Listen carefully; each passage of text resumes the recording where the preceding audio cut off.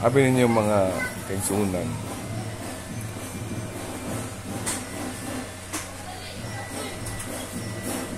Ang buhat aning mga kontras gobyerno kining mga grupo sa mga makabayan black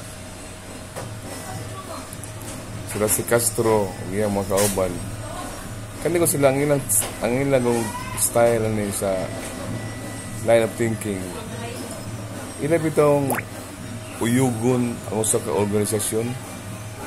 Maghimo sila mga propaganda nga para maka watak-watak ang mga tao sa gobyerno. Kay kung mao na may tabo sila may mapulis gobyerno. Pero wa may angay na si Castro eh musukot pa mo nga ang presidente nato si Martin? Unya ang vice si Castro? Sugot mo ana. Na zero nga na resibo. Kanang klasiya nga tandem Martin Castro. Martin Romualdez presidente. Castro vice president. Zero na dres kan Cebu. Sayo pa kay ba na na, na politika na mo nga untang inyo ang inyong buhaton ang pagserbisyo mas katauhang Pilipinon kasabot ba Martin ang konsulti kay Tralite mo na, Bisaya mo na. Wari ka mauwaw, no?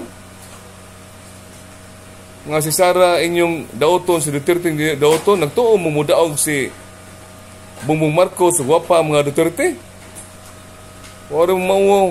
Nga karon inyong dauton, naron kamoy may mahumot, na kamoy mabaho pastae. Kamo mga ni kontra ni kuan ni Duterte. Ako sayod man ko nga daghang mga, supporters gapo sa Duterte Diaz Progreso apan nagpakahilom kay initan lagin ni Martin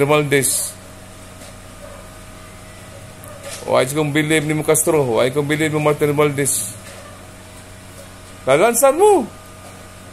Lansad Martin sa presidente. Lansad Castro pagka vice president.